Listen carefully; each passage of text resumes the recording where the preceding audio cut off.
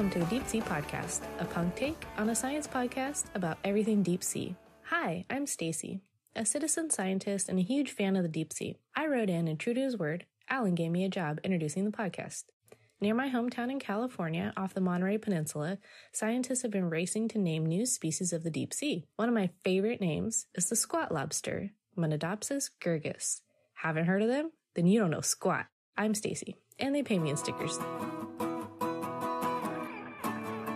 All right, and thank you, Stacey. That was a wonderful job. Uh, officially, you are the employee of the month. Unfortunately, though, you're also fired. Thom, you've got your job back again. Hey, it comes and goes, but I'm back. Well, as I say, I'm a man of my word. She asked for a job. I gave her a job. I didn't tell her that it was only about two minutes long, but, you know, we'll pay her in stickers. Yeah, six whole stickers. Anyone else wants a job, just write in.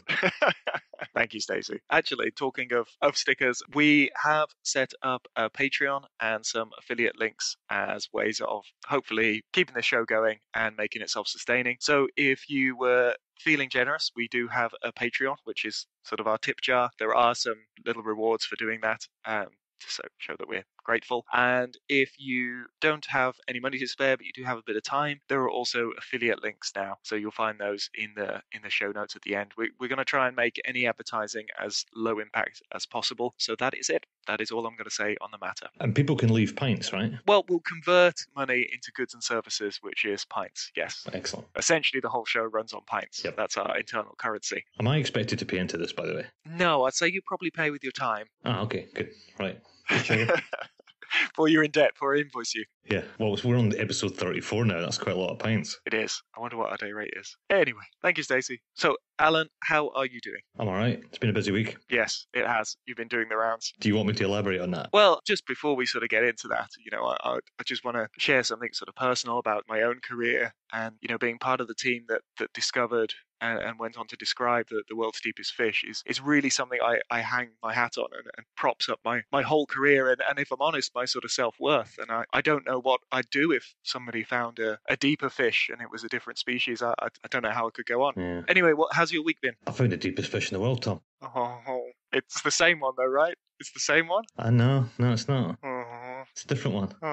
is it much deeper? Oh, it wouldn't go beyond the hypothetical limit though, would it? Wouldn't go beyond Uh, 8,200 meters, would it? Yeah, it does actually, yeah. Oh, everything I believe is crumbling. To be fair, there was some wiggle room in that. It was 8 200 to 8 400, but yeah, found the deepest fish in the world. Found it ages ago, actually. Just never told anybody. We've been sitting on it for ages. Caught the deepest fish in the world as well, but we knew what they are. So we caught two fish from 8,022 metres, which is pretty cool. Wow. The deepest fish is now 8,336, a species of Pseudoliparis. But genetically, they're all so close together that it's still looking a bit iffy if your snailfish and this snailfish and the Japanese snailfish are actually all the same thing. It's really hard to do genetics on snailfish. They uh, they don't play nice. No, they don't. So anyway, so yeah, it's been a busy week doing that. Uh, it's not what I planned to do. Uh, yeah, well, it was good though. Got decent coverage. People seem to like a good little snailfish story from time to time. And lovely footage. They look great. Oh yeah, that's only half of it. There's there's like tens of hours of this stuff. Amazing. I do love that the world's deepest fish is really damn cute. It looks like a sock puppet. It's kind of naked mole rat. It's kind of sock puppet, but it's got that like big squidgy face and that sort of cheeky smile. Ah, I love them. They're great. It would be terrifying if it was massive. Yeah, it probably would. Probably would. About the size of a shoe is kind of a cute size. Yeah. But yeah, if it was seven feet long, it probably would be terrifying. Yeah, well, there you go. In amongst all of this shenanigans and jet setting, you also told me you wanted to chat about an old passage you found in an old book. An old book came across my path. It's called Modern Science. Uh, sorry, the series is called Modern Science, and this particular edition is called The Fauna of the Deep Sea. And it was written in 1893. Jeez. And it's written by Sydney Hickson. And it's quite interesting. There's a bit at the, the start where he's writing the preface and he's, he's talking about, he starts off saying, The time may come when there will be no portion of Earth's surface that has not been surveyed and explored by man. Uh, it says the bottom of the deep sea is still quite recently one of these terra incognita. It was regarded by most persons when it entered into their minds to consider it at all as one of those regions about which we do not know anything, never shall know anything, and do not want to know anything. Which I thought was a bit harsh. It's quite poetic. And then he, goes on this bit. It's a really cool bit here. He talks about we may be able to plant the Union Jack on the summit of Mount Everest. We may drag our sledges to the South Pole, and we may someday be able to travel with ease and safety to the Great Sahara. But we cannot conceive that it will ever be possible for us to invent a diving bell that will take a party of explorers to a depth of three and a half miles of water. Yeah, so in 1893, this guy had all but given up. He's basically said, nah, it's too hard. But then, because we're working on something else, there's quite a lot of old things, came across this paper in Science from 1901, and it's written by a guy called C.C. Nutting. And it's a book review of a German book on the deep sea. And it's pretty hardcore. People don't talk with this honesty anymore. But the first line of his book review is While it can hardly be claimed that this work is a distinct addition to our knowledge of deep sea life, it nevertheless serves as an important purpose in presenting a compact resume of more notable facts relating to the animals of the deep. So basically saying this is nothing new, not that good, but you know, books are books. But weirdly, this is the bit that caught my attention, right? And hear me out, you've got to hear this to the very end before the big reveal of why this is bizarre. Because the discussion of the physical conditions of the deep sea includes a presentation of the more important facts regarding temperature, but presents to greater length the matter of pressure. The author estimates that the total pressure exerted on a human body if sunk to a depth of 4,000 metres would equal the weight of 10 loaded freight trains, each consisting of an engine, tender, and 32 cars. The American reader should remember, however, that these are continental trains and not American trains. Wow. it's like 32 train cars. Oh, American ones. Oh, they're just lightweight aluminium rubbish. I can take 32 of those. yeah, those tiny European trains. It's weird how he's decided to actually say, you know, when we talk about 32 trains crushing down on you, these are continental ones, all right? None of your American rubbish. As if, as if that makes any difference when you're trying to hold up 32 trains. That's so weird. So peculiar. Yeah. Just decided to be massively unimpressed. Yeah, he goes he goes on to basically accuse the guy of plagiarizing some of his work and says it's all rubbish and at the end says actually it's a pretty good book. Wow, I miss drunken reviews. That's what it's like. Could you imagine just the old boy with a cravat and a pipe and the whiskey just bashing away this review? Ah, better remind the Americans that we're not talking about their old lightweight trains. We're talking about good old British trains. Amazing. Very weird. Yeah, old literature's brilliant. It's so much more entertaining than the new stuff. Old science writing is like poetic. Some of the old like Challenger reports and the Galathea reports, they're it's poetry. It's really good. So, what's your uh, song of the month? Song of the episode? Uh, it's probably showing my age, but if anyone remembers the old Adult Swim show, the Metalocalypse, the parody metal band Dethklok. For some reason, I don't. I think they've released an album, and so some of the old wonderful tracks have been coming up. And so I went for "Go Into the Water," Ooh. which was part of their album, which was dedicated to fish because fishes have no good metals to be listening to. So it was an untapped market. So they released an album specifically for fish in the show. It's a whole parody thing. I think you'd enjoy it actually, Alan. I might have to send it your way. I don't know if you've ever seen any Metalocalypse, but it's just about uh, over-the-top metal band. You can see that they're inspired by a few actual existing metal bands, but they're as powerful as a, a single country because they're just so wealthy. Good. Then there's this weird prophecy related to them as bringing about the end of the world. It's it's a mental show, but uh, yeah, "Go Into the Water" by Dethklok will be my track of the month. I know two other things that go in the water. Only two. Only two. uh, Well, I can think of two offhand. One is a, a goblin shark, and the other one is a plastic kid's toy. And and how do they relate? And how has this caused a bit of scandal on science Twitter? I read the story as citizen science. Someone had taken a picture of what they thought was a, a juvenile goblin shark somewhere in the Mediterranean where they're not known to be, sent it to a bunch of scientists who then published a paper saying this is the first of the expands the geographical range of goblin shark. And then somebody pointed out that it's actually a, a plastic toy and juvenile or embryonic goblin shark don't even look like that. And then some people, more and more people started posting pictures of this plastic toy from eBay and stuff like that. And it's like, oh. so I think these guys have been had. Well, it was a it was a photo, wasn't it? So they didn't have anything else to go on. And the, the photo is quite is quite believable because it's sort of weathered and looks a little bit distorted. I'm just surprised you would go as far as writing a paper on it without actually seeing the specimen. I think that's probably the, the link in that workflow that's let them down. It's, you know, by just trusting a photograph seems a bit too trusting. Especially a photograph you didn't take that was sort of sent in. Yeah. But no, I, I like the I like the sort of open mindedness of scientists. That does mean that can fall for things sometimes, but we've got to always entertain something, even if it seems very strange. Because that's how you discover new things. You've got to be open minded. And I was chatting to you earlier as well about the James Randi Fund, which I always thought was interesting. So he was he offered a million dollars to anyone who could prove a pseudoscience sort of scientifically. And the whole premise behind this was that actually a scientist can be kind of gullible, but only because they they've got an open mind basically. They'll always entertain new information. And he said that that actually is, isn't very good for spotting pseudoscience and, and people who are being deliberately misleading. And he was an illusionist and magician. He said, like, that's what you need. That's who can spot a fraud is actually an illusionist, you know, somebody who is a professional fraud. So he set up this fund for a million dollars if he could prove a pseudoscience. And it was it, it wasn't meant to be gotcha. It wasn't meant to sort of attack people who said they could do these things. It was actually meant to give them a platform to prove it. And it was all above board. You know, um, both parties would agree on what the experimental parameters would be, on what success would look like, and how it would be measured. And it was actually sort of signed and quite contractual. You know, everyone agreed on it, and everyone was happy until, of course, he managed to prove that what they said they could do, they couldn't do. And then, then people started to call foul. But yep, it was never claimed. Nobody ever won. Nobody ever successfully proved their pseudoscience claims. So I thought that was it. That felt a little bit like this. That felt sort of an interesting tangent. So good on folk for going in open minded. But unfortunately, sometimes we will be tripped up by doing that. So the moral of that story is next time you go to see, take a magician. Take a magician, yeah. Or certainly if you are not in control of where the data is coming from. I mean, that's something we see a lot uh, in science. You know, the you'll get a, a series of data and you, I don't know, you, you sort of you don't want to see what you want to see or, or apply a cause that you you want to be there. That's what peer review is good for, and having your co-authors. You know, okay, you've measured this, this is true, but it could also be caused by this. And I think that's a that's a good sort of powerful angle for for peer review is like, have you calibrated your sensors? Could your sensor just be off? You know, they've always got to look for every other explanation and then be left with your new observation. All right, I'll take a magician next time, or illusionist. Don't want to take a magician because you might end up with loads of rabbits, and that'd be that'd be really annoying. Too many rabbits offshore. Yeah, or just lots and lots of balloon dogs. Here's a little secret you can make a balloon dog, or a giraffe, or a sausage dog, or a poodle, and it's all just the same thing with different proportions. Is it? They're lying to you, yeah. Oh, that. Oh, maybe they are illusionists then. Just make different bits longer. Oh no, my whole world's just falling apart. I know.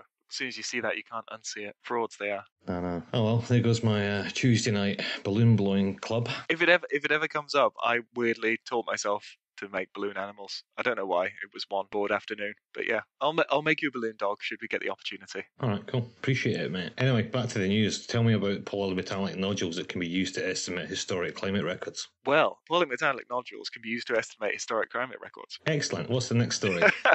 So, research led by Dr. Deng Chenglong of the Institute of Geology and Geophysics, IGG, in the Chinese Academy of Sciences, CAS. Oh, ah, I love an acronym. And their collaborators have constructed history back to approximately 4.7 million years ago. The study was based on a 36 millimeter diameter polymetallic nodule from the Eastern Pacific, and it was found at just over 5,000 meters deep. And the magnetic scanning was used to provide precise dating results. So, it makes sense. These things accrete over huge periods of time, and so they're going to lock away, you know, like the rings of a tree, they're going to lock away the current physical environment as those layers were forming. So there is a lot we could learn actually from studying the nodules. We were actually speaking to a guy about this yesterday. Very knowledgeable person on the subject who happened to be visiting Perth to give a giving a talk on it or something. But what they've done in this paper is they've reconstructed the Antarctic bottom water history. And I said to him, well, you know, the places we go, they're deep enough, and certainly a lot of the places we go have the Antarctic bottom water, and that's what you need to trigger the growth of the these things. And he just went, no, you don't. Doesn't need to have Antarctic water. And he was like, okay, so this is why you're the expert.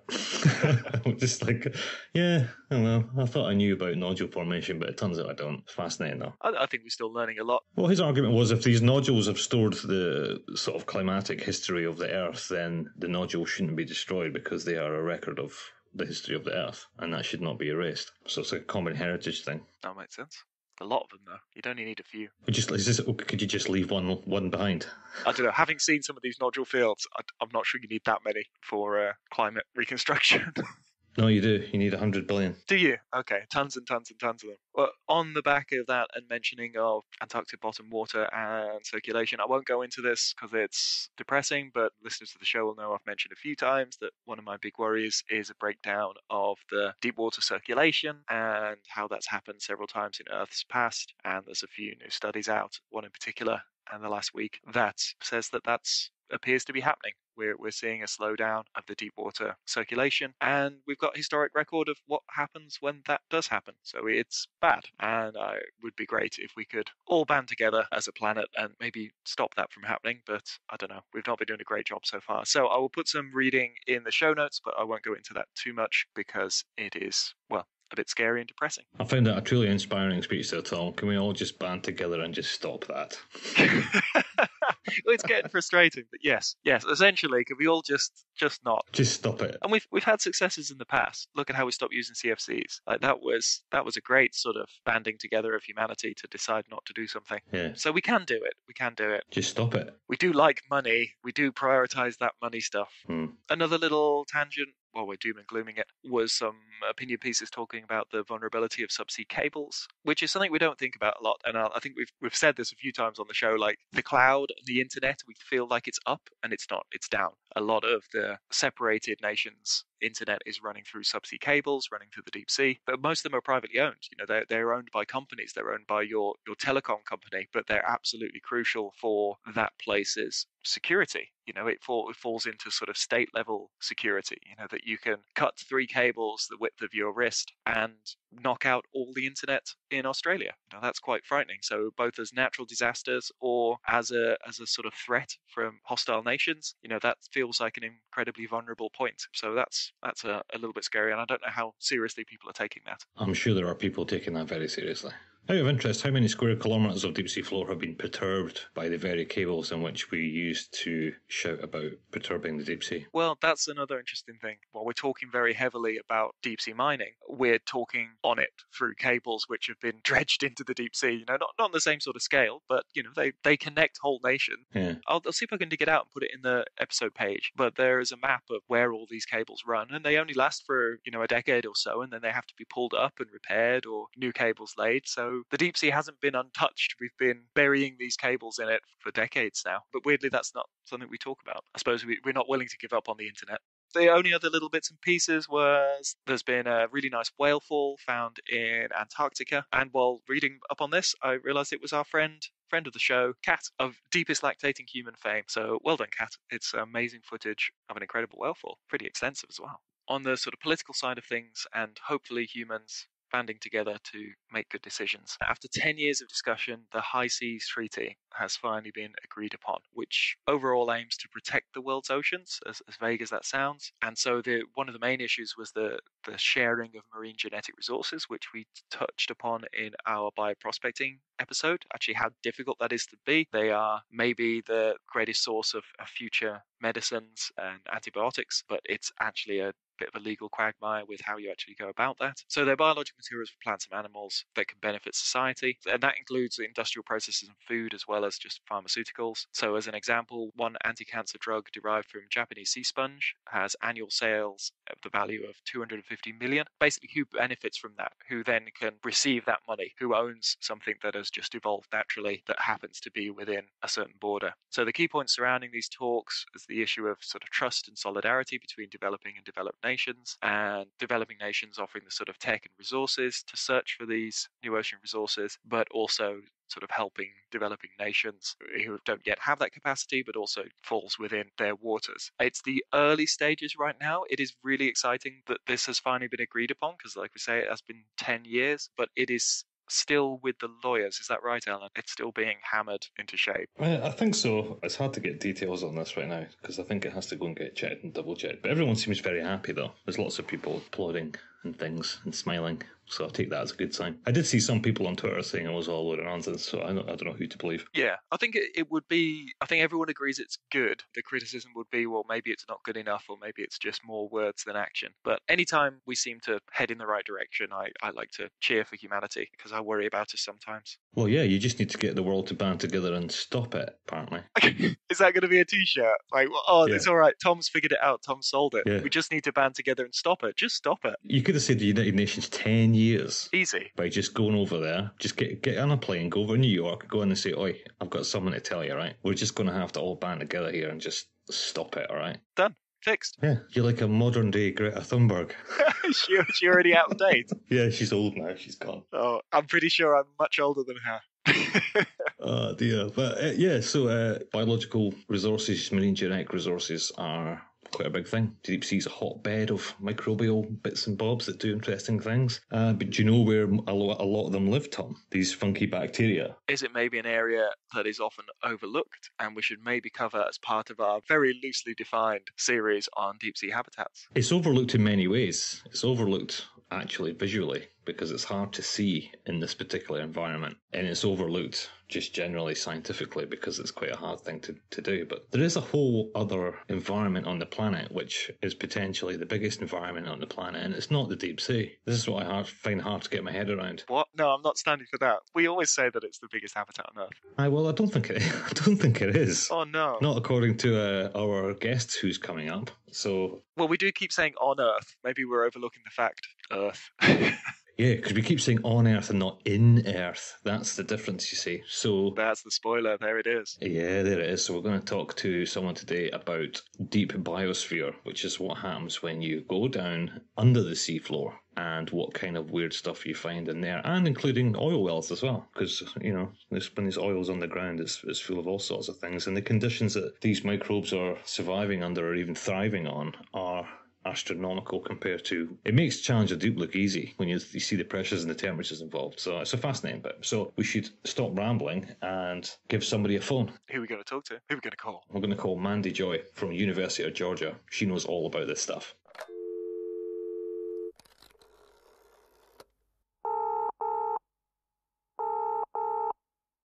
Uh, today we have Mandy Joye, who is an American oceanographer and professor at the University of Georgia in the Department of Marine Sciences. And her research has contributed hugely to the field of ocean biogeochemistry and focuses broadly on the relationship between biochemical cycles and microbial ecology. She's also well known for her work studying the Deepwater Horizon oil spill, and she's regularly called upon by scientific and policy agencies as well as the media for expert commentary on ocean ecology. So, welcome to the Deep Sea Podcast, Mandy. Thanks, Alan. Happy to be here. Great. So, while your research is obviously very expansive, today I'd like to chat about the deep biosphere. Uh, and that's a term which is not necessarily known by a lot of people. So, let's start with definition. What is the deep biosphere? Where is it? And what size is it? So, the deep biosphere is an incredibly vast ecosystem. It's easily one of the largest, if not the largest on Earth. It is starting at seafloor, going down to the depths where microbes no longer exist. And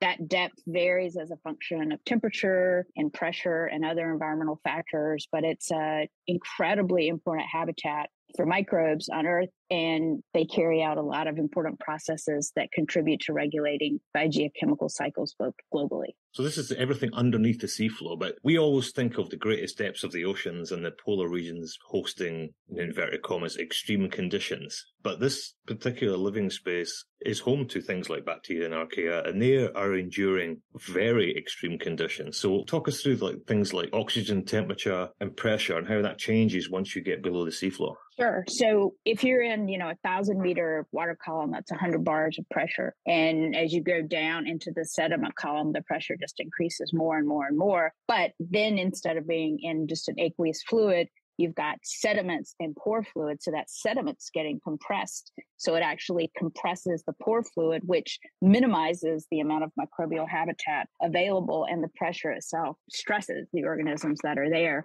In addition to, to the inherent stresses of pressure, there are also geothermal gradients that occur in sediments. So the sediments are warming as you go down. So temperature from the top of the ocean surface to the seafloor decreases, right? As you go from top yeah. to bottom. As you go from the seafloor deeper beneath the seafloor, the temperature increases. And that geothermal gradient can be pretty shallow. It can be pretty steep in some places like the Gulf of California hmm. or mm. anywhere where there's active um, tectonics. You can actually have hundreds of degrees centigrade, you know, within a few hundred meters of the seafloor. So temperature is a stressor. Pressure is a stressor oxygen is rapidly consumed in sediments, so they become quickly anaerobic, and anaerobic metabolisms kick in because there's no oxygen. And you've got all kinds of different ecological niches that open up as you move through this cascade of electron acceptors. We breathe oxygen. Microbes can breathe sulfate, they can breathe iron, they can breathe nitrate, they can they can breathe a number of different electron acceptors, you know, compared to us and our, our measly little one that is oxygen. and there, you know, deep down beneath the seafloor, there are some fungi as well as bacteria and archaea, but it's really a microbially dominated ecosystem. And the geochemical and sort of geophysical forcing factors are quite extreme. Yeah, I mean, it makes Mariana uh, Trench look easy, right?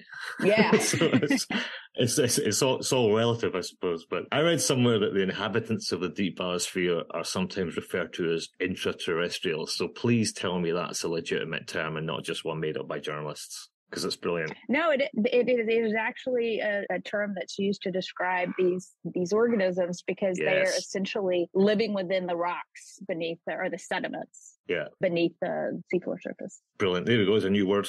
Intraterrestrials. Never heard that before. It's great. So the thing that gets me when I ever think about this is what does a day in the life of a deep biosphere bacteria or intraterrestrial look like? Would that be better re- rephrased as what's a week in the life or a month in the life or a year in the life or, or a decade in the life? What are the time scales? The time scales vary a lot because there are places in the deep subsurface where the geochemical gradients drive more rapid metabolism. So turnover times might be, you know, months yeah. to years. In other places, the turnover times are as long as as as millennia. And wow. there are some places that are organic poor, and there, you know, it's like turnover times can be thousands and thousands of years. So it's kind of hard to wrap your head around the fact that a microorganism, when you think about bacteria, you think about an organism that, that can divide every couple of hours, right? Like E. coli yeah, in yeah. the lab bench. But these organisms are growing super slowly and dividing once every few hundred or thousand years. So they're adapted to this sort of life in the slow lane. That really is. It requires a very different approach when you're trying to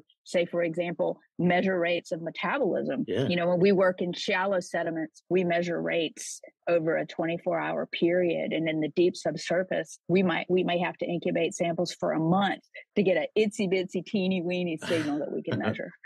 It is hard to get your head around, isn't it? It's just so slow moving. It really is. Yeah. When people first started doing this, when someone first recognized that they've taken a sample from well beneath the seafloor and found this bacteria in this, I mean, was that a sort of eureka moment or was there like a long period of chin scratching going, is this thing viable? it's like, it's because it's, it's moving on such slow time scales. It's not like you just found a new fish. You went, hey, there's a fish. Hey, let's study the fish. It must be like, what is this thing? Yeah. I mean, you know, we really have the, right now it's called the International Ocean Discovery Program the original program was the deep sea drilling project yeah. and you know the ocean discovery program etc. lots of different names it changes every 10 years but you know the us and the brits and the japanese and the chinese and the germans and the french it's an international effort to drill in the deep subsurface because it is an incredible undertaking. These cruises are two months long, yeah. these deep sea drilling cruises. And it, they, you know, you work around the clock like you do on any cruise, but it wasn't until the Peru Margin cruise, leg 204, where microbiology became a,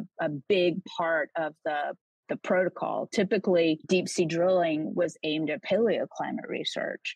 And, mm. you know, Bo Barker Jorgensen and and others had this this, you know, idea that I think probably it's fair to say a lot of people thought they were crazy that this deep subsurface had to be a really important microbial habitat and what regulates it and what kinds of processes go on and you know what are the organisms that live there and are they you know the same thing that we see in marine sediments or are they just you know buried and, and boring what does it look like? And they they developed this microbiology program, and it was an astonishingly productive cruise. And there have been many, many other legs now that have promoted microbiology efforts. And now it's a standard part of these deep ocean drilling expeditions to have, you know, a contingent of microbiologists on board, not just looking at community composition, but measuring activity and looking at how yeah. these organisms process geochemicals. But it's it's tricky because it's hard enough working in the shallow sediments of the deep sea because you're still working at high pressure if you're in two or 3,000 meters of water or, you know, the bottom of the Marianas Trench. You want to try and replicate the conditions that these organisms yeah. experience in their natural environment. Well, when you're dealing with the deep subsurface, you've got temperature, you've got pressure, you've got chemical gradients, you've got all these things that you have to consider and vary to really try and assess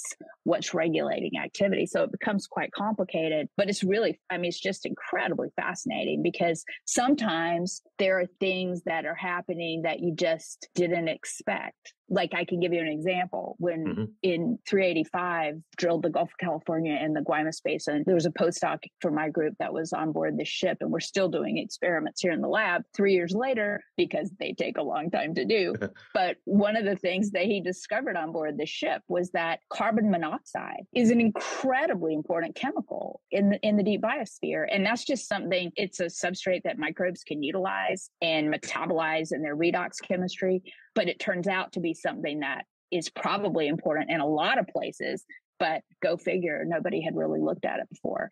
So that was that was something new and different, and it was something we got that data, the CO data, because we were measuring hydrogen, and the same GC that we use to, to quantify hydrogen also gives us Oh, yeah. carbon monoxide. So we just got it as gravy, and then it turned out to be way more interesting than the hydrogen itself. So that brings me on to this next thing. We work in, in very deep waters normally in our day jobs, and we all often get asked, well, what relevance do this have to us? You know, are these things actually providing a measurable ecosystem service? And we were, we're always like, yes, because it's bioturbating the seafloor, it's recycling particulate organic carbon coming down, and so on and so on. When you get right below the seafloor, what what are they doing? What is what is their ecosystem function? What is the real value of, of these microbes at those depths? So when you think about everything in the ocean is connected, it's just connected on different time scales. Hmm. And we are biased in the time scale of an expedition or a human existence, or we live in a world where time scales of days to weeks to months to years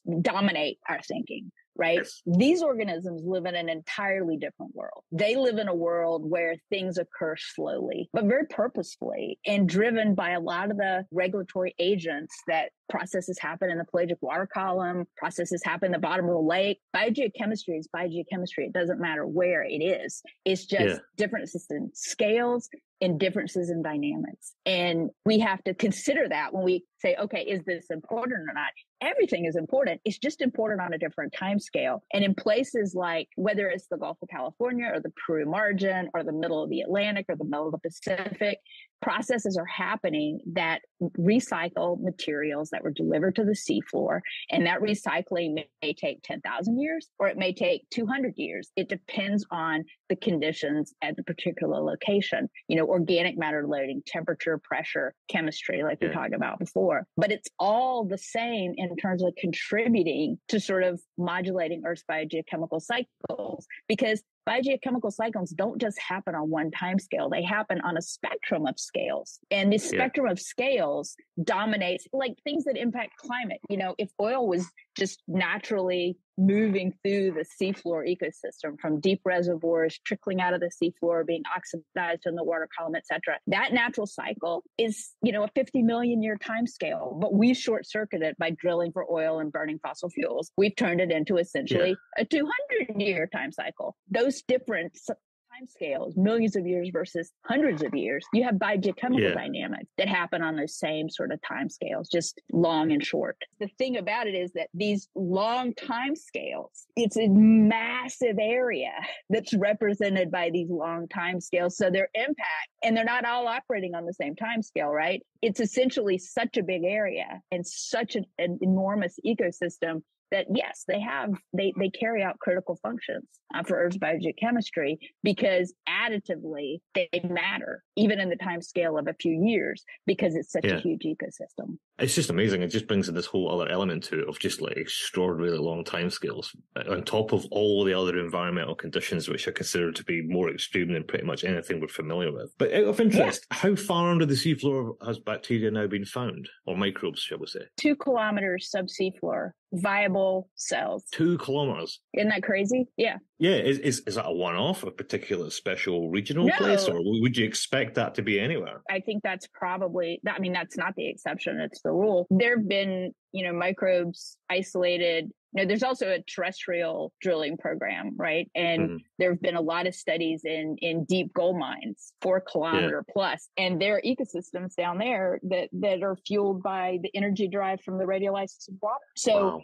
I love to just sit around spitballing what crazy process could exist under these that or the other conditions. It's like thinking about life on other planets or on the moons yeah. of Saturn or Jupiter. What kinds of metabolisms could exist there and what's the analog on Earth? And that's a really incredibly interesting mental exercise because, you know, when you think about the radiolysis of water, that's like who, who would have thought of that 10 years ago as a mechanism that could fuel microbial ecosystems? But now we know that this is a really common modality of, of microbial existence. And I think that once you get outside of the box of your ordinary thinking, that's when you can really sort of come up with some potentially interesting, if not crazy, ideas to pursue in, in some of these extreme habitats because there's just like the deep sea is is largely unexplored. If you look at a map where we've drilled deep holes and where we've done detailed microbiological work, it's just a handful of sites. We drilled a lot of yeah. holes for paleoclimate, we haven't yeah. drilled a lot of holes for microbiology. And, you know, it's really a frontier.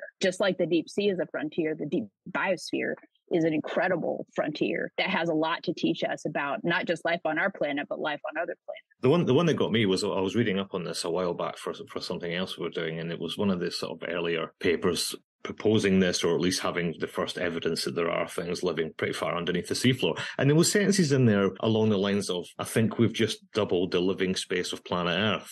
Yes. you know, yes, those are yes, those are no. statements you don't get very often, right? And it's really kind of astonishing. I mean, I, I teach a graduate level microbiology class and we spend a couple of weeks, often more because it's a topic near and dear to my heart, talking about the deep biosphere. And the students during these lectures, I look out and half the time, you know, their jaws are just agape because yeah. they're just astonished. They can't believe that this is part of Earth's habitable space and that it was really only discovered and probed in any kind of detail in the past couple of decades. And in those two decades, we've had this genomics revolution, right? So in the beginning, you know, we were doing most probable number counts and, and stuff like that. And now we've got these yeah. sophisticated genomic tools that we can interrogate these communities and we don't have to, to isolate them and grow them in the lab we can reconstruct their genomes on our computers. You know, we can extract yeah. their DNA, sequence the whole community and reconstruct their genomes and look at, you know, all the potential metabolisms that exist in the community from the comfort of your desk. You don't have to go through the torture of trying to yeah. grow these organisms in the lab because they are really tough to grow. I mean, when you're talking about an organism that has a doubling time of 500 years, I mean, yeah. good Lord. It's a very long undergraduate lab class, isn't it?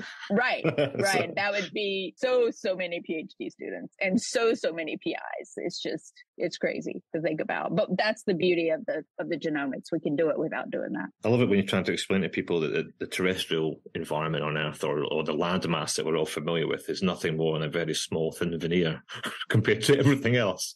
It's just uh, it's it's bizarre. It's really difficult to get your head around. But go back to the genetic side of things what is what's the phylogeny of these strains? Do they form a sort of unique group within the deep biosphere, or are they related to oceanic ones or terrestrial ones, or where do they fit? Yes, yes, and yes. So there are some organisms that are unique to the deep biosphere, or certainly more common in the deep biosphere. There is some overlap with, you know, shallow sediments and, and deep subsurface sediments. And there's a lot of variability. Mm. It's not like the biogeography of fish populations. There's a lot more isolation in the deep yeah. subsurface because of the time scales that we're talking about. I mean, really, I like to think of it as it's really tectonic time scales that these systems yeah. are turning over, right? It's plate tectonics that's driving it. So it doesn't really align with thinking about how you know biogeographical patterns. Um, but there are methanogens you know the methane producing archaea are super yep. important in the deep biosphere. Fermenters are super important and they're fairly common organisms so to speak that, that are fermenting organic matter.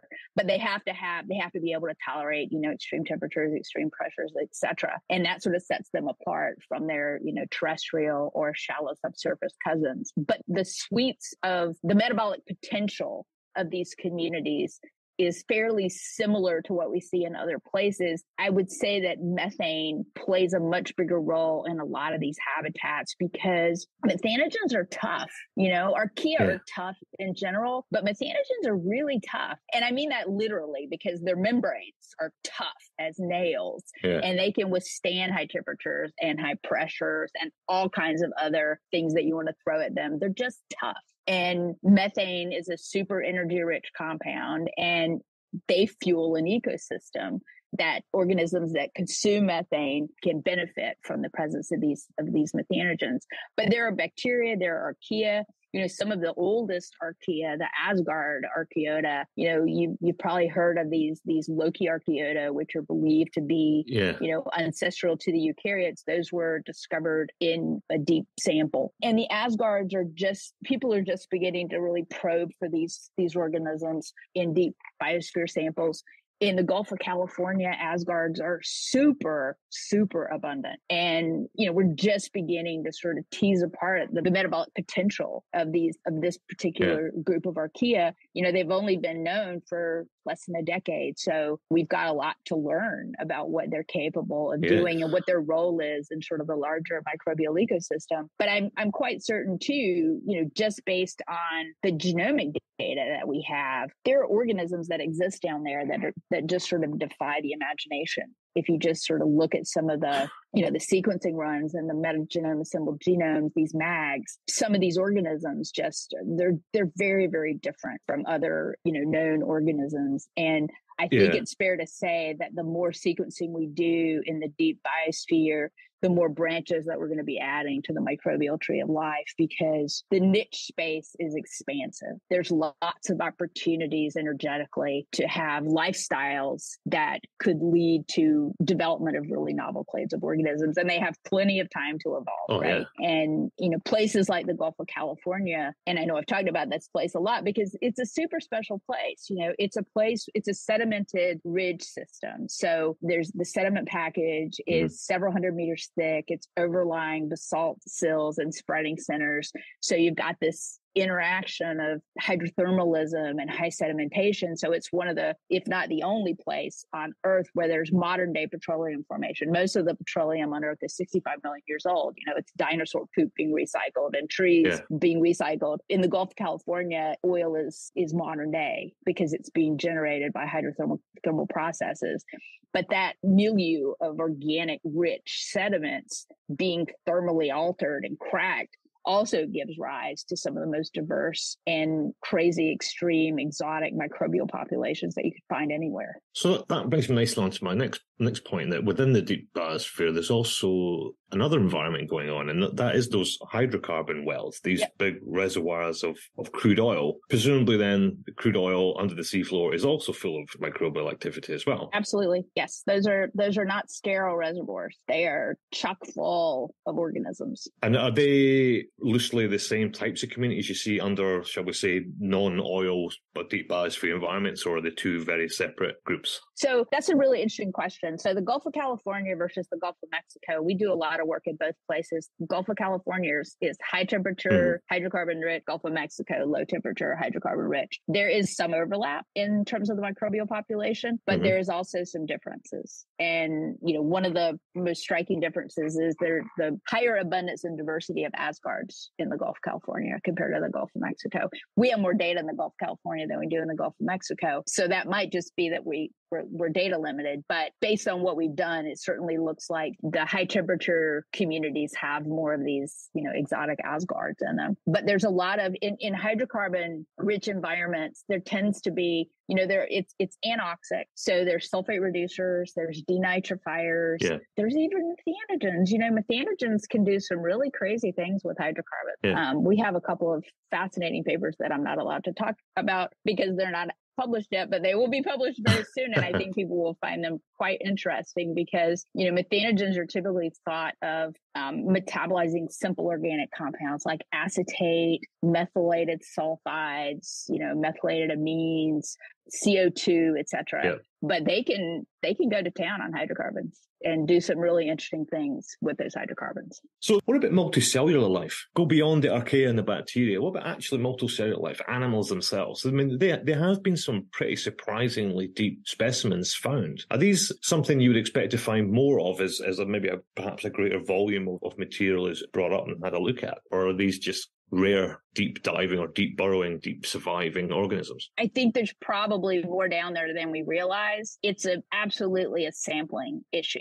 And the way that these deep cores are drilled, any kind of animal that wasn't just perfectly aligned with the drill bit is going to just get annihilated. Yeah. So we would never be able to properly sample them. I mean, when you get box cores, and actually the Germans ha- have have these X-ray systems like CAT scans on their boats, and you know you can look at deep burrowing fauna yeah, with yeah. these X-rays and these CAT scans because they bring these wide bore cores up, and then they just run them through the machine. You can be like, oh, look at that! There's some deep burrowing worms in there, or shrimp. So I I think it's unfortunate that in the U.S. fleet we don't have any cool toys like that. We have some cool toys, but we don't have the we don't have that kind of capability. Yeah. And I think as that kind of capability becomes more available, maybe through philanthropy, then we can get more Yeah. data like that because there's almost certainly critters that that live a lot deeper than we think they do. It's just really tough to to sample them without destroying them using the tools and techniques that Yeah. we have in hand right now.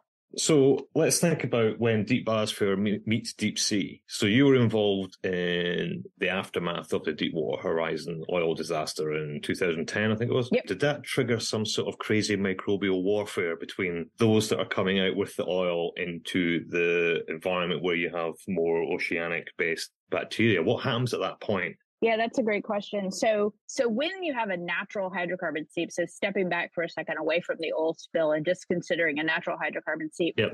the oil is just dribbling out of the sediments. Like it's almost like the sediments are a sponge that's saturated with oil and the oil is less dense and it's just wicking out of the bottom and floating up. In those cases, you do get entrainment of Yep. deep subsurface microbes into the shallow sediments and maybe even into the water column sometimes. Right. In the case of Deepwater Horizon, the nature of that discharge was so incredibly violent that you basically had this little riser pipe that was six inches in diameter or thereabouts. And when it got damaged and severed, it was bent. And so the fluids were sort of flying out this crack in the elbow and out of the, the broken off riser. And you were going from this reservoir that was several hundred degrees centigrade into bottom water that was four degrees. And, you know, you've got this overpressurized reservoir and nothing holding it back. So it's just blowing out of there like a torpedo. And the, the organisms that were coming out from the reservoir, we didn't see a whole lot of evidence for that because those organisms probably just got French pressed and shredded as they were coming out because of the nature of the discharge. But when that oil and methane, actually, there's a lot of methane coming out too. When the methane and the oil got into the bottom water, you had the formation of different droplet sizes. And so you had all these layers that formed laterally and we're moving away from the wellhead with the with the water just as the physics was mixing the the system and flowing through the system. So you had these Yeah. lateral plumes that you could track them for close to 30 kilometers before they started to sort of fall apart. And Wow. in those and those plumes were thick you know they were a couple hundred meters thick. And then there were several layers. The biggest one was centered around 1100 meters water depth but there were several others up in the water column. And it was a microbial party in those plumes because the oil degraders started growing Yeah. rapidly because they grow pretty fast. They're gamma proteobacteria. Those are the same organisms like E. coli and salmonella, you know, the pathogens that grow really fast in your gut and give you food poisoning. Yeah. These these hydrocarbon degraders are also gamma proteobacteria. They grow really fast. They're flagellated. They have complex sensing abilities and they can just sort of sniff out an interesting niche and proliferate in it. And so within a few days to 10 days, you started seeing substantial increases in hydrocarbon degradation potential. Methane oxidation took a bit longer. It took about three weeks for that to ramp up. And neither methane oxidation or oil oxidation persisted for very long because the plumes, the physics is very complicated. And the plumes were intact for you know about six weeks Yeah. they started to dissipate and break up after about eight to ten weeks and they were pretty much hard to track three months later almost impossible to track i think it's fair to say but that microbial signature of the bloom that happened the series of blooms that that happened during that during that six to eight week period you could see Yeah. that signature for several years in the system so it took a long time for that biomass to work its way through Wow. the system and get sort of stripped out through the grazing loop. It's a strange question. Do you think there's a bit of a silver lining to Deepwater Horizon in that we actually learn quite a lot about how the ocean works or the interaction between the ocean and the seafloor? Because you would never be able to, to ever perform an experiment on that scale. But I mean, obviously, it's a big, big tragedy. But at the same time, it's like, well, there must have been a lot of data generated very, very quickly and a very steep learning curve. Yeah, I don't think that there has ever been a natural disaster that we learned so much from as Deepwater Horizon. I mean, the other obvious comparison is climate yeah. change. Will we learn as much as we need to fast enough? I hope so. I mean, we've learned a tremendous amount in the past 30 years, but we still got a long way to go and we only have seven years left to do it. But with Deepwater, it taught me as a scientist about doing science and working with other scientists. And one of the things that I think was the most amazing was that at least with with the team that I worked with, you know, everybody parked their ego at the door because this was a huge problem that needed a solution and the community came together in a powerful way. Yeah. Probably very quickly as well. Yeah, we had to. And the resources that were thrown at the system right away but invested in the system, you know, for 10 years and are still being invested through, you know, the restore program. There's 30 years that we have to to learn more because the majority of the funding was the first, you know, was that 500 million that was spent by the Gulf of Mexico Research Initiative in the 10 years, you know, after the after the incident. Yeah. And we learned a tremendous tremendous amount, but I feel like now know enough about the system to ask the real interesting questions. Like I thought I knew a lot about the Gulf of Mexico when Deepwater happened. I had been working in the system for 15 years. I considered myself an expert. Deepwater taught me just how much I didn't know yeah. about how the system functioned and how the system worked and how it operated and how, you know, the interaction of physics, chemistry, and biology. And it was very humbling to, to realize that, you know, actually you don't know as much as you think you did. And here are the here's the yeah. litany of things that you need to know in order to really understand how the system functions and what makes it tick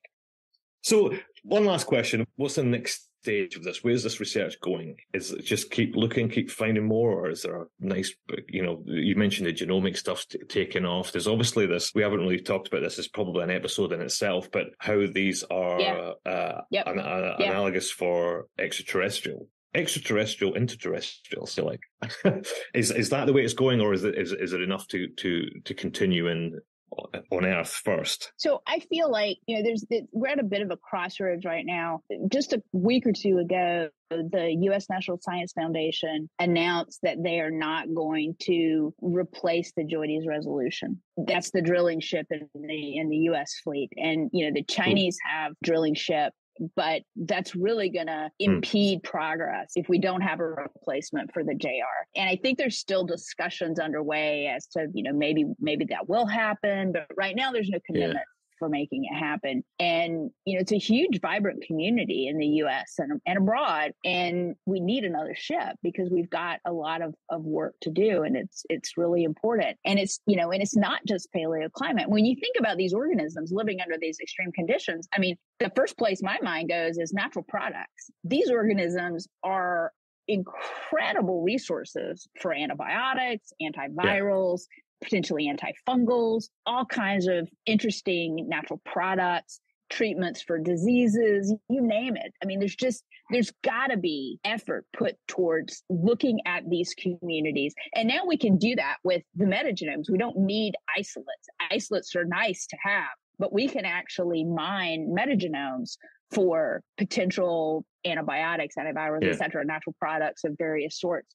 So we can use those data to advance humanity in ways that weren't really imaginable even five years ago. But I, don't think that's, you know, all there is to it. You mentioned life away from Earth the deep biosphere is is an obvious analog for looking at weird metabolisms and organisms that we might find you know in another planet i mean the radiolysis of water example that i gave before that's a that's a really interesting wacky metabolism that could certainly be important on extrasolar planets and other worldly habitats So yeah. I really wish that NASA would get into this game because there's an obvious, you know, not just Mars, but you name it. There's yeah. there's lots of potential targets out there for which the deep sea and and the deep biosphere are good analogs. So I wish there was a way that NASA could pick up the tab to fund some of this sort of work because NSF is they provide an incredible amount of research funding for this community, but I think the community would grow a lot more if there were more resource sources available. And NASA just seems like, you know, know, an obvious place to pursue, you know, to go for that kind of work. And I really feel like this is an international community. Yeah. Every single drilling expedition, the science party is, it's got representatives from all over the place. And it's not just old farts. It's a lot of young students. It's a lot of graduate students, a lot yeah. of postdocs. You know, it just, it spans the spectrum. It's a wonderful community. And I feel like, you know, we're at the cusp of making some really big discoveries yeah. because we're just getting to the point where we've drilled enough sites where micro, microbial studies have been carried out that we can start to see patterns and we can start to see trends and we can start saying okay this is really one of the key key drivers of these communities. And that really is that variable that's not so important. Yeah. But you know to get to that point where you have a better more complete understanding you've just got to have a lot of data and you've got to have a lot of data from from disparate habitats and we're not there yet we're not even close yeah. You know, every expedition gives us more information to build on, but we just gotta, we got, we gotta keep pushing it and we've got to figure out a way the JR isn't replaced. You know, how, how, how's the community, how's the appetite for the community in terms of the science gonna, gonna be met? Yeah. If only there were some really mega rich billionaires with an interest in space kicking around, you know? it seems like there's so much money going into space, but not so much in terms of uh, understanding extreme environments and how that links together. I was talking to Don Walsh about this a couple of weeks ago. You know, I saw uh-huh. him in San Diego, you know, and he, he said to me, he said, you know, I told somebody back in the early 70s that the problem with lack of funding for deep sea research, it's public relations. We just aren't good marketers. We don't market what we do very well. And he's absolutely right. Hmm. You know, it's messaging and marketing. Yeah. And that's one of the great things about this podcast because it gets a message out to way beyond the deep sea science community. And that's the kind of messaging that we have to work on because we don't tend to self promote very well. We don't do public relations, scientists and we don't market. Yep. You know, it's like the Chasing Coral movie. And, you know, Richard Vevers, who's the British guy who did marketing for a career before he started working on coral reefs and got really interested in coral bleaching. And the success of that movie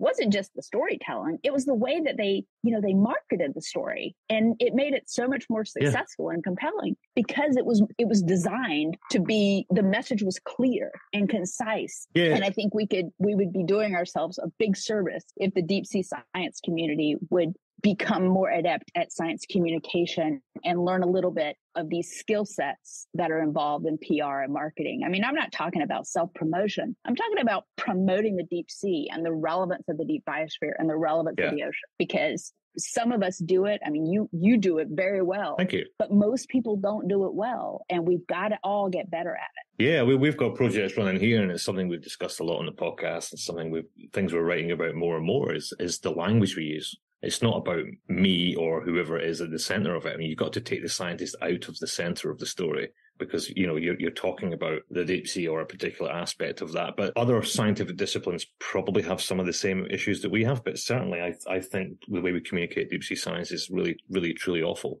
It's, it's it's just the wording's all wrong. It's always over sensationalized but kind of in an empty way. It, you're right it's the marketing. I think we need a almost a corporate take on it. Yeah. Rather than just a bunch of people who who really like it and think everyone else should really like it too. And that's a really hard sell because most people have got other things going on in their lives. They don't care what happens in the deep sea. You know, they're trying to pay the rent.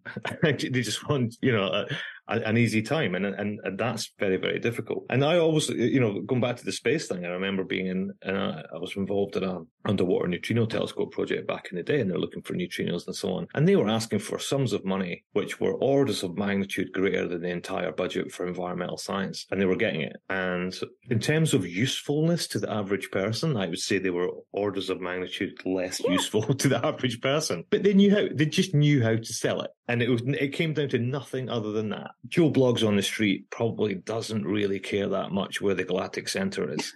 it's not going to change his life if it gets found out tomorrow. But yeah, the check that was written to find it, oof, that was you know eye-watering sums of money. But it's it, yeah, it's, it's marketing, and and one of the things that I think's like when you talk about the big drilling projects and how they all pull together and things like astrophysics and how they all pull together and there are other disciplines that do the same thing. In marine science we tend not to. Yeah. it feels very fragmented. It feels lots of little people all doing lots of little bits. Uh, it's something just haven't really done culturally yeah, but I do wonder whether if the deep sea community did bond the way that, you know, the astrophysics community does, if, if they have this big idea and they want to put a new telescope up or, or a new mission mm. to wherever, you know, they get together and they work together and they come up with a really powerful marketing message of relevance to NASA or whoever. And, you know, they get these obscene amounts of money to do these, these projects.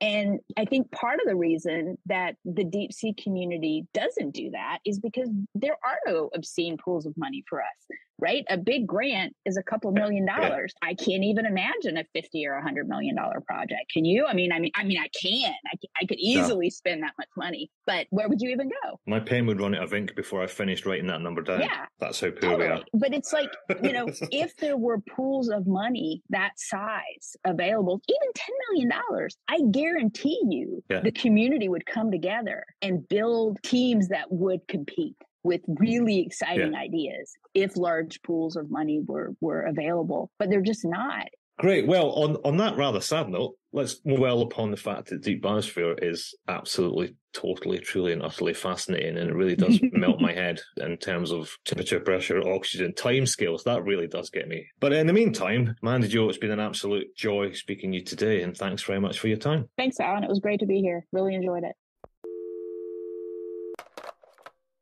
No, I thought it was cool. I thought the whole interterrestrial thing was fascinating. I'd never heard that term before. It's a great word. I love it. And so, if you find something living underground on another planet, extraterrestrial, interterrestrial, right? Yeah. No, I like that. No, I thought it was really interesting. I mean, I, have dabbled in not actually doing any science on it, but about 10 years ago, we were looking at high pressure, high temperature test facility, and I was looking into all the oil wells and stuff like that. And I never really appreciated until I looked into it that how hot the oil is when it comes out of the ground. And yeah. the pressure that these things are living at is just astronomical. It's, it's just, it really, I mean, I guess it is bacteria, and then we're not looking at big multicellular animals, but at the same time, it's like, it's amazing that biology is still happening in environments like that. It's the timescales that get me. It's that these things are barely call them alive. It's like a clock that ticks every hundred years. It's like one little yeah. biological process just ticks over every hundred years. And that's it's I don't know, when you like properly embrace evolution and the ways that life has spread, like it doesn't have to make sense. It just has to work. It doesn't have to have a reason. Like the, the first thing your brain does when you hear about that is like, well, why? Why live like that? And it's just that yeah. because it works. If there's any opportunity for, for life to persist, if there's any system that works, it te- it just does it. And it doesn't have to make sense and it doesn't have to have a plan or be heading in a particular direction. It's just life perpetuates wherever it can find a little foothold in weird ways. It's brilliant. I think generally speaking, people who go down to anything smaller than meiofauna, when you get down to nematodes and the archaea and the bacteria and stuff like that, there's people of a certain disposition because it's difficult. I mean, I've always said that I don't really understand anything that I can't drill a hole through, and that that works. Listen to Mandy talking about this stuff. It's just I don't I don't know how she does it. I don't know where you even start with that, and how you're sort of sitting in in your garden of an evening contemplating something that doubles every thousand years. it's like in it's just ecology in a whole. It's it, is one of those things. People talk about animals in the deep sea being alien-like and all this kind of stuff, which is just a lot of rubbish. But when you get into that, it's like they're living in a different planet because the do not sync with anything else. No, we've got no foothold to sort of understand these things. Yeah. Like I just imagine everyone who studies these just spends a lot of time staring into the night sky or just having like full-on existential crises. There's one, there's one thing I meant to ask her that I forgot during the interview. She kept talking about things like Asgards and Lokis, and there's a whole bunch of like yeah, there's a naming convention around it, isn't there? Fascinating. Anyone listening who knows about that, if they can like tweet in or message in, like I'd really. Uh, there's obviously been a naming convention agreed on, and I quite like it when there's like themes to things. So uh, yeah, fill us in on that. There's obviously a, a Norse mythology flavour going through. Oh, makes a change from the old Greeks. It's getting boring now. And that concludes this episode of the Deep Sea Podcast. Uh, like I mentioned at the start, we now have a support us page to help keep the podcast going. We've listed lots of ways of helping the show from the free, like leaving a review or subscribing, to becoming a Patreon or buying our merch. We've included some affiliate links on the page where you can shop online, and we get a small cut of those if you buy anything. So check out the many ways that you can support the show by visiting our support us page on the website. As I say, we're going to try and make that as non intrusive as possible. But if we can get the show to be self sustaining, we just want to break even. No one's going to get rich off this. But if we can get the show to be self sustaining. Hold on. You told me we'd be millionaires by this time next month. Yeah, I mean, it's it's optimistic. Millionaires, you said. Millionaires. We're two and a half years in now, aren't we? 34 episodes plus a load of bonuses. Yeah, but for ages they were 30p and then we went up to 30p in a pint. So what's the next level? Is millionaire, right? It's an exponential curve. Exponential growth we're seeing. Yeah, that's true. Yeah. Anyway, so give us your money or Thom will go hungry. I might have to fire him again to save some money. Yeah, it's how you save the money. When I'm actually working, I'm hired. But as soon as I stop or try and have a holiday, it's like, now you're fired now. And then I get rehired at lower wage. well, Stacey was better. She she works for stickers, you know? They're cheaper to produce than actual coins and money. Well, you know, that was meant to be just a funny joke. And then she was really, really good. I thought it was it was a great it was a great intro. Hand on heart, mate. I thought she was better than you. I was thinking of maybe reinstating her and then fire you for the next month and see what happens. Yeah, I thought she was more approachable and more sort of polite, more enthusiastic, more articulate, more engaging. Yeah, just generally much more interesting person than you. So I don't know. Don't know. Don't disagree on that. She was good. Yeah. Well, I mean, if you want to fire yourself, if you want to, if you want to throw yourself on the sword for the greater good of Stacey, you feel free to do it. Well, I just want the I want the show to be good, and if that means getting rid of me, then you know, so be it. Yeah, it's all about the show, mate. So just out of curiosity, how many stickers are we paying, Stacey? Three. Six. Six stickers. Six. Oh, you're so cheap. It's unreal. what you said three? I, was, I just figured you were cheaper than that, but you're still with it cheap, right? I've got to be honest. It was it, it was limited by the international postage. Is it not limited because that's that's all you've got left in the merch van? I've got I've got a few stickers on the go, but we only have three versions, so I thought like two of each seems good. All right. Where does she live? She lives in California, doesn't she? She did. Next time I'm in California, I'll bring her a Deep Sea podcast apron because I think she deserves that for being better than you. But yeah, if you can get a picture, Yep. you and her in your matching aprons. It might be sooner than you think as well, so watch out, Stacey. How big's California? Probably quite big. Oh, it's tiny, isn't it? It's just there's San Diego and then there's like desert around it, and that's it. All right. Well, there you go. He's coming for you. and as you may have noticed, my sound quality isn't as good as usual, and that's because I am on the move at the moment. So sorry about that. It will be sounding lovely again at some point in the future, but maybe not by the next episode. I hope you're not driving an automobile or operating heavy machinery right now. Both of the above. It feels like it's been an intense couple of weeks of driving heavy machinery and automobiles. I feel like you're sitting somewhere with a really naff orange hard hat on, driving a massive digger and just digging a massive hole for no reason whatsoever.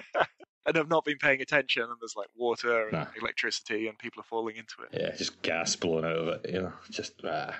I'm after that deep biosphere. I want to get in on it. I want to see where the, where the action is. Yeah, literally, literally get in on it. Yeah, just dig a massive hole and just jump right in Yeah, and say for science. as long as you say that first. As long as you draw a graph, you can do whatever you like. Yeah, like biting into the glass sponge to cure COVID. we should do this once a month. We just make a 10 minute episode of Thom doing stuff for science, like biting a glass sponge or jumping into an unknown bacterial mat and just, just seeing what happens. Just science jackass. Yeah, deep sea jackass. And that concludes this episode. So we will deep see you next time, and we abyss you already.